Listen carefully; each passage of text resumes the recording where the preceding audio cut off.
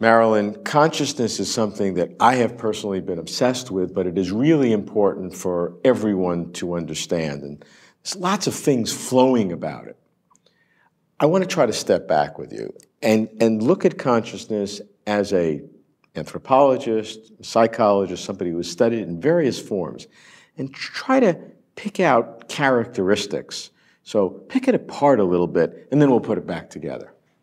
Well, I think there's the psychological dimensions of our experience, our awareness, uh, that sense of intention uh, in the morning when we get out of bed and we intend to, you know, go about our business. We have to propel our feet across the bed and onto the floor.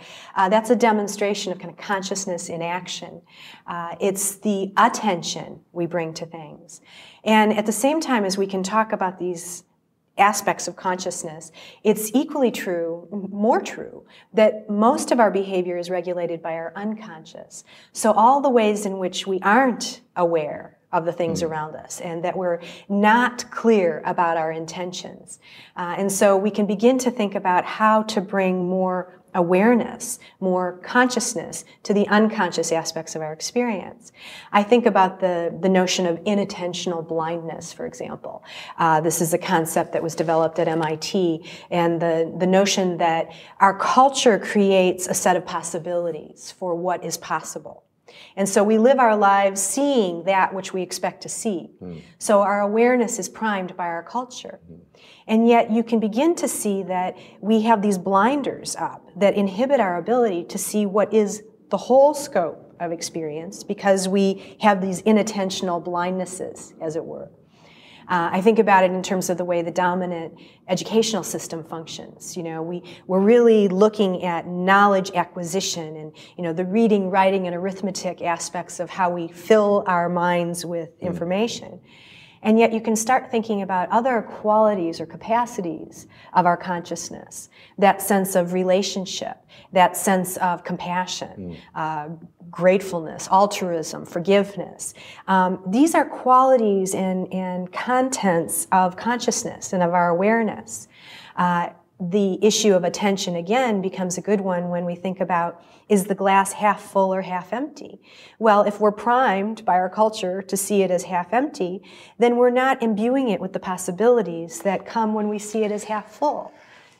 i would try to get categories that we can put some of these characteristics in and, and, see how many categories we have. Certainly, we haven't discussed it. It's sort of obvious is the perception category. We see, we hear our, our, sen- our various senses that we have, and, and, and we, we know what those are. So those are part of our consciousness. They're, they're more of the seemingly mechanical thing, but latest brain research has shown that the brain helps form what we see as well. So we have the, the uh, perception aspect. That, that, now you've talked about attention, and that kind of focuses our, our consciousness. And then intention, which uh, puts uh, a, uh, a, a, meaning to our consciousness, a direction to our, a focus to our, an outward the, uh, aboutness to our, to our intention. Then you talked about unconscious. Uh, and then, and then a, a kind of a cultural relationship with uh, altruism and compassion and, and, and uh, uh, uh, feelings of, of, empathy and sympathy, which, which you need uh, a, a, you or a, second party or, or even a third, third person uh, as part of it. Are those some categories that, that all sure. Together? So we can think about consciousness in this qualia sense of, you know, the stuff we carry around in this mind-body system that we yeah. think about as the I. Right. Uh, we clearly know that our consciousness is also shaped, formed, embedded within culture. And so language and the symbols that we share begin to construct certain models of what is possible. Um, I had this opportunity to be with the Achuar in the Amazon, and uh, our guide was getting very animated, looking up at the treetops. And the you know the group that were you know I was with were from the north, and you know we were like, "What's the big deal, Walter? It's you know it's trees. We are in the rainforest, you know." But for him, it was about the howler monkeys that were jumping from tree to tree, and for him, that meant survival. It was food. For us, food translates to grocery store, right? so the culture provides a context for being able to attend to aspects of our reality. Mm. Um, the Achuar are interesting also because they make use of plant medicines. So they very much believe in non-ordinary realities and the notion that, you know, the physical reality is but one small piece of a much more, you know, um, engaged and animated cosmology.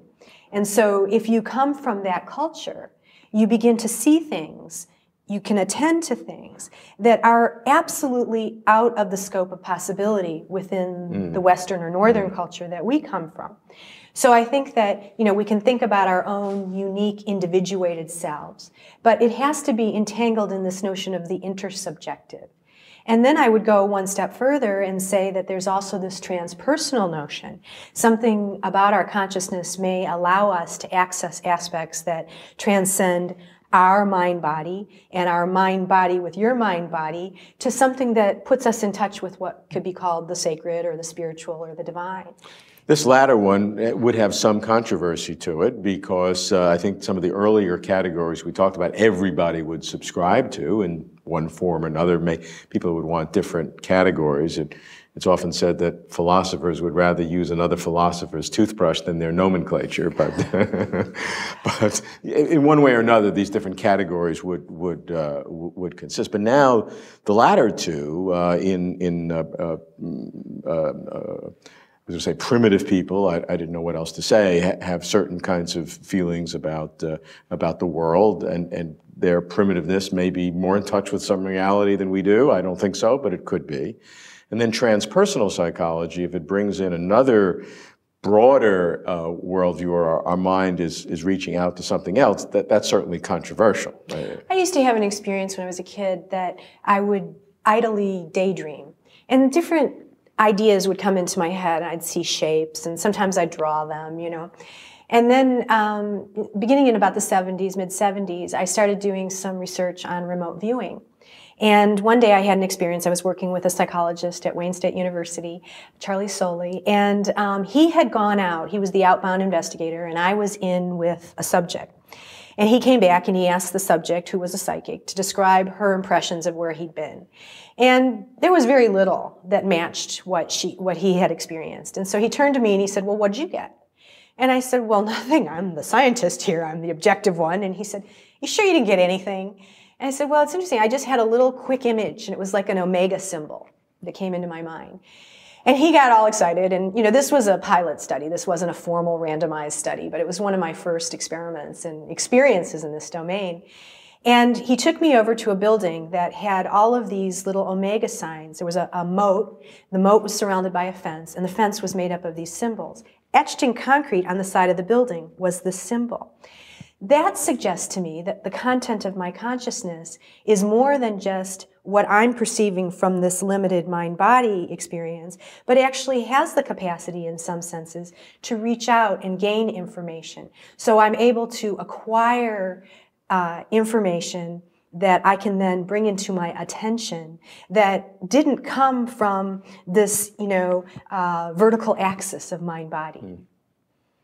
So, all that by way of saying that I think there is so much more than we can possibly understand about what are the qualities and capacities of our consciousness. It's a great mystery mm. and a tremendous opportunity